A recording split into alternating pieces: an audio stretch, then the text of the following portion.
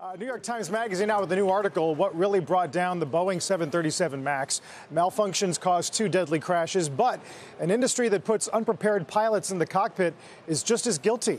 Joining us this, uh, this afternoon is the reporter behind the story, William Langewiesche. William, good to have you with us. Thanks for the time. Well, thank you.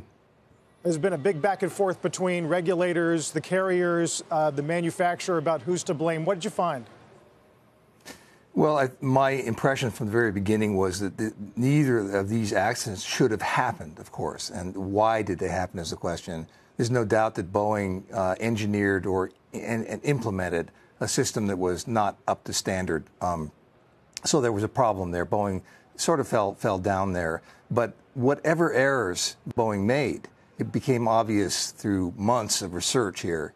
Whatever errors they made uh, should not have caused the accident.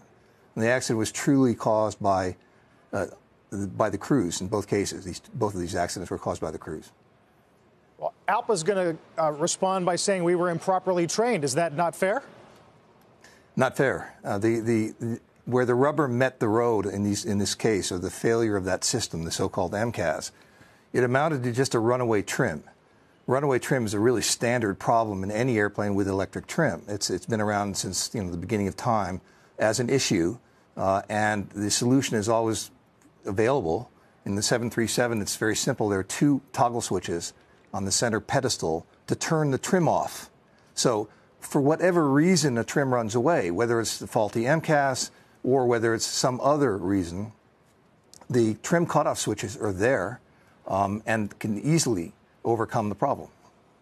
And so, your allegation is that the pilot should have known that. They should have engaged those switches? It's more than an allegation, it's a certainty. And we know, in fact, that in the second case, um, not only did the pilots, I mean, every pilot knows about the, the, the cutout switches.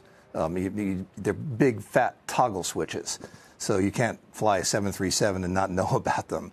Um, the question is, will you use them at the right time?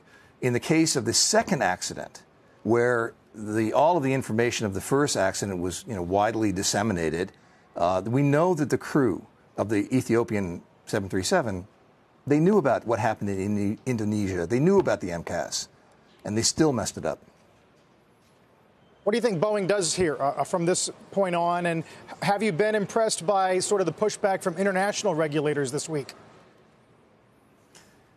Look, this, the story turned very political right away. Um, I, I, I, find it hard to use the word impressed when I talk when you talk about regulators. It's there's a lot of political posing going on. I think Boeing's you know has a big problem on its hands, and the problem is not really a technical one.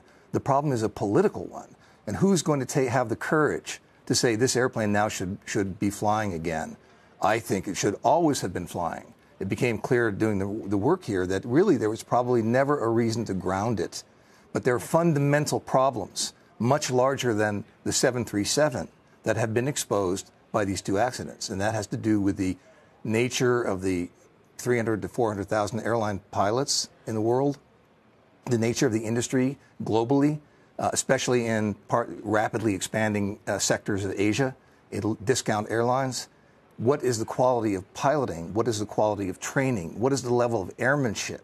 What is the level of of understanding of the airplane in the, in most fundamental sense. And it, we, Boeing, like Airbus, like all of us, faces a real problem in that domain. And if Boeing made a mistake here, I, in my opinion, this is now just opinion, I believe the largest mistake was to overestimate the quality of the pilots it was selling its airplanes to.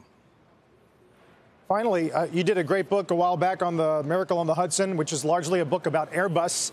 How would you characterize the horse race between the two companies? Do you think it's shifted for good? No, I can't make that kind of prediction. I I would never underestimate Boeing. Boeing can, is going to is going to bounce back in one way or another, and and strongly. It's a very talented company. Airbus is an equally talented company. I can't predict that horse race. I, I suppose there's plenty of room in the market for both companies.